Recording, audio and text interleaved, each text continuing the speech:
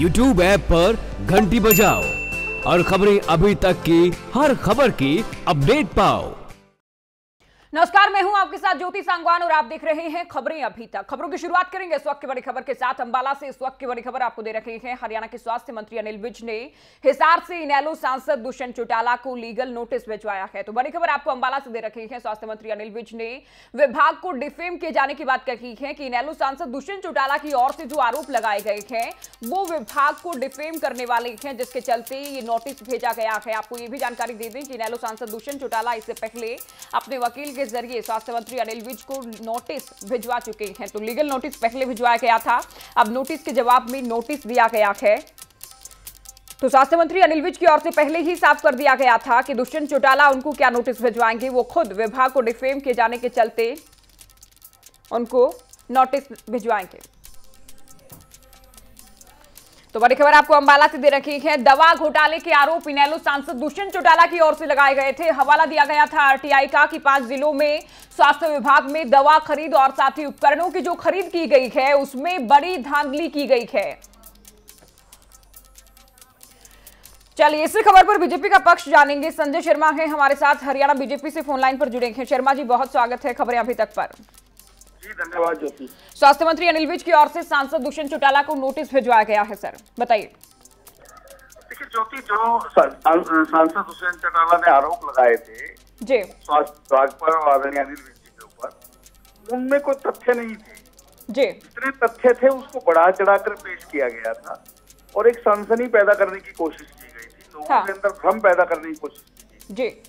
और जिस घोटाले की वो बात कर रहे हैं की उसके अंदर केवल आप जैसे मैं पहले भी कह चुका हूँ केवल अस्सी करोड़ का बजट उसमें भी चालीस करोड़ दवाई खरीदने के लिए। उसे तीन सौ करोड़ का घोटाला कैसा हो गया? जी। तो इससे ये साबित होता था कि जानबूझ करके दुष्यंत चौटाला ने सरकार को बदनाम करने के लिए हाँ। भारतीय जनता पार्टी की छवि खराब करने के लिए और विशेष रूप से श्री अनिल विज जी के ऊपर की जो एक सब लोग मानते हैं एक ईमानदार व्यक्ति हैं एक मेहनतशील व्यक्ति हैं उन्होंने बहुत अच्छा मंत्रालय अपना चलाया हुआ है। उनको बदनाम करने का ये एक षड्यंत्र संजय शर्मा जी हालाँकि स्वास्थ्य मंत्री ये कहते हैं कि उनको बदनाम नहीं विभाग को बदनाम किए जाने की साजिश है लेकिन बात ये है जब आरोप ये लगाए गए कि पाँच जिलों की आरटीआई में करीब 100 करोड़ की धांधली हुई है अगर पूरे ही स्टेट की आरटीआई मिलेगी तो करीब 300 करोड़ का घोटाला संभावित है।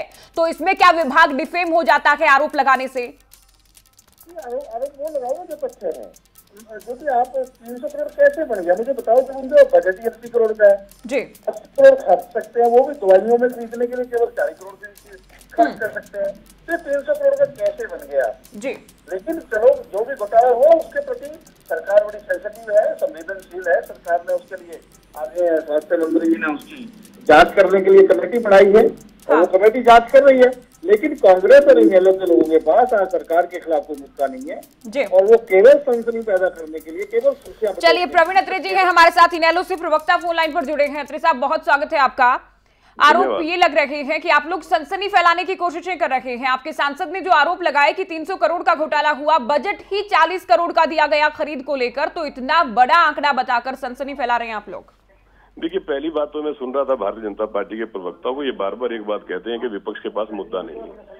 इससे बड़ा मुद्दा क्या होगा कि स्वास्थ्य विभाग में भ्रष्टाचार हो रहा है और हमारे सांसद दुष्यंत चौटाला जी ने बाकायदा आरटीआई से मिली सरकारी जानकारी। देखिए आरटीआई से तो विभाग ने जानकारी दी है। उसके आधार पे एक मामला उठाया होना तो ये चाहिए था कि जो लगातार ईमानदारी का ढिंडोरा पीटते हैं विज साहब वो जाँच करवाते एक ऐसी एजेंसी से जो स्वतंत्र होती। जिससे कि बेहतर जाँच और बेहतर रिपोर्ट प्रदेश की जनता के सामने आ जाती सच्चाई सामने आ जाती।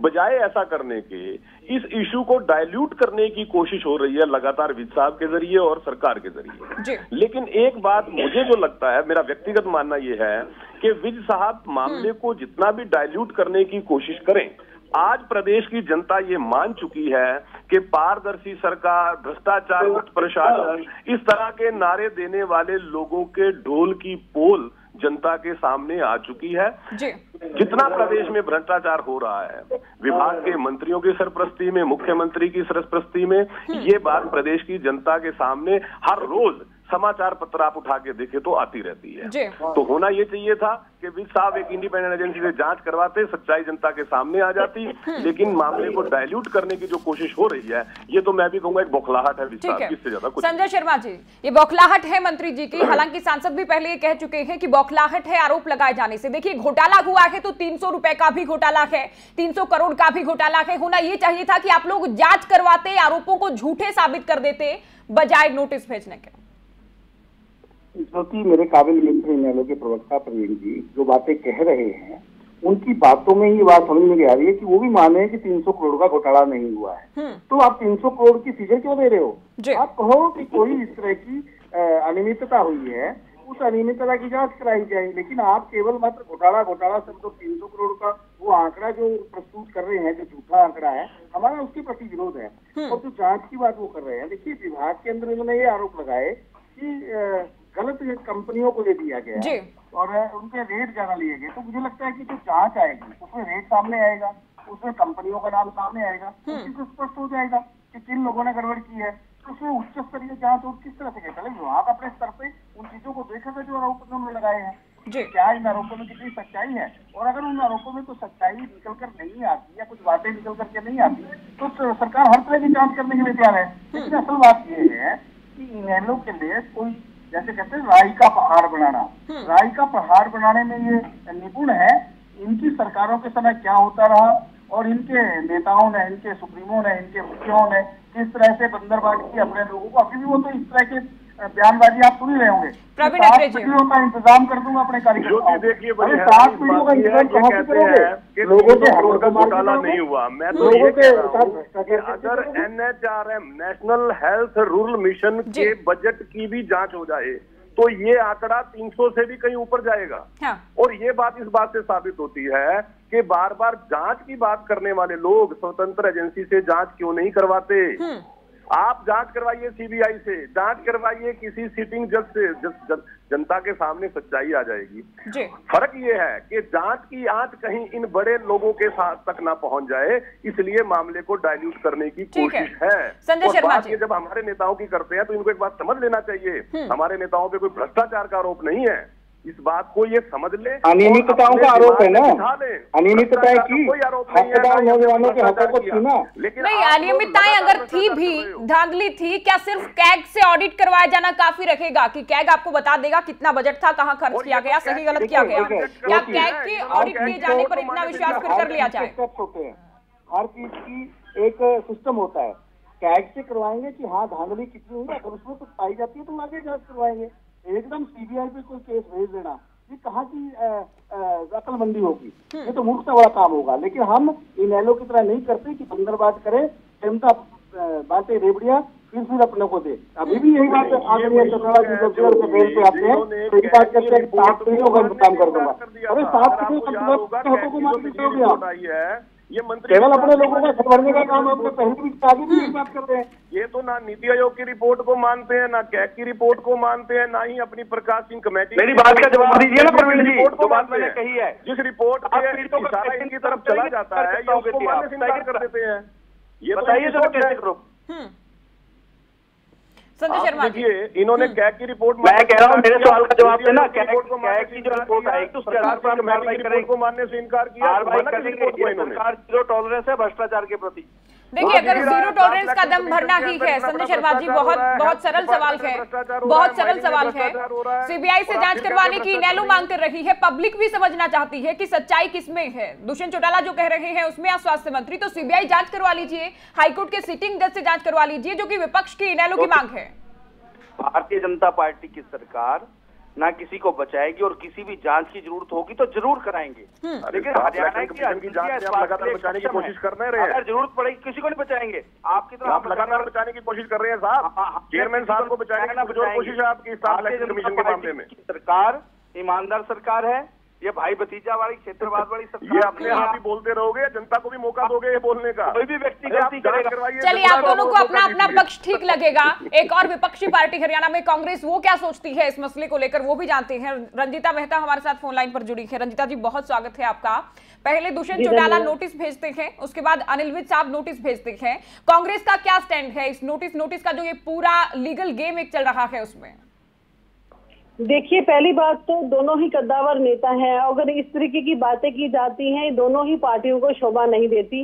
आज मेन मुद्दा ये है कि आम जन की सुनवाई कैसे हो और जो घोटाले हो रहे हैं वो कैसे उजागर हो। अगर आप एक दूसरे के ऊपर छिटाकशी करते रहेंगे तो आगे चलकर आप किस तरीके से लोगों को न्याय दे पाएँगे? जहाँ तक अनिल विधि की बात है। वो बड़े बड़े दावे करते थे और बाकी के डिपार्टमेंट में जो है वो इंटरफेरेंस करते थे। आज उनके डिपार्टमेंट के ऊपर उंगलियाँ दागी जा रही हैं। और वो आरटीआई के माध्यम से हो रही हैं। और अगर उनके खिलाफ उंगलियाँ उठी हैं आग वही होती है जहाँ धुआँ होता है हम्म। तो अगर अब उनके खिलाफ उंगलियाँ उठ रही हैं तो वाजिब है कि उनको उसका जवाब इन दोनों को अपना अपना पक्ष स्वाभाविक तौर पे ठीक लगेगा। रंजिता जी क्या लोकतंत्र में आरोप लगाया जाना फिर खुद ही जाँच कर ली जाए कि इतने करोड़ का घोटाला हुआ है ये सोच के आरोप लगाए जाए? अन्यथा आपको नोटिस भेज दिया जाएगा। ये ठीक लगता है आपको? मैं वही तो कह रही हूँ कि अन्य विधि के डिपार्टमेंट के अंदर अगर दवाइयों का घोटाला हुआ है उसके बाद आप इसको ये स्वीकार ना कर कर कि भी हमारे डिपार्टमेंट में हुआ है और हम इसका सुधार करेंगे आप उसकी कशी में पड़ते हैं कि इतने का नहीं इतने का हुआ है तो घोटाला तो हुआ है जनाब। आप टैंकियों पे चढ़कर जब फोटोएँ खिंचवाते हैं जब आप ट्वीट कर कर लोगों को बार बार उजागर करते हैं तो जब आपके डिपार्टमेंट में ऐसा घोटाला होता है तो आप उसको स्वीकार कीजिए। इस इस छिटाकशी के अंदर की एक नोटिस वो भेज रहे हैं उधर से वो नोटिस भेज रहे हैं तो ये कहीं ना कहीं जनता का नुकसान हो रहा है उनके समय का नुकसान हो रहा है। आप आज जवाबदेही बनती है आप जनता के पैसे का इस तरीके से दुरुपयोग नहीं कर सकते। आपकी जवाबदेही बनती रहेगी जब तक आप इसका जवाब नहीं देंगे। अगर दवाइयाँ दो रुपए नब्बे पैसे की चीज़ आप उनतीस रुपए में बेचेंगे। आज आज अस्सी पैसे की चीज़ आप पाँच रुपए में बेचेंगे तो कहीं ना कहीं जनता को दुखता है कि उनके टैक्स पेयर का पैसा जो कि आम जनता पे लगना चाहिए अभी सांसद का रुख क्या रहेगा इस नोटिस को लेकर? क्योंकि पहले उनकी ओर से नोटिस भेजा गया था कि मंत्री जी माफ़ी मांगे उन्होंने माफ़ी नहीं मांगी एक और नोटिस भेजा गया है। देखिए जहाँ तक सांसद साहब की बात है मेरी इस विषय में अभी उनसे कोई बात हुई नहीं है इसलिए ये तो नहीं कह सकता कि वो क्या रुख रहेगा लेकिन ये क्लियर है कि उन्होंने जो विज साहब को नोटिस भेजा है विज साहब या तो माफ़ी मांगे या फिर कोर्ट में विज साहब को जवाब देना पड़ेगा पहली चीज़। दूसरी चीज़ देखिए विपक्षी पार्टी होने के नाते हमारा कर्तव्य है कि प्रदेश में जो अनियमितताएँ हो रही हैं वो उनको उजागर करे हमने वही किया।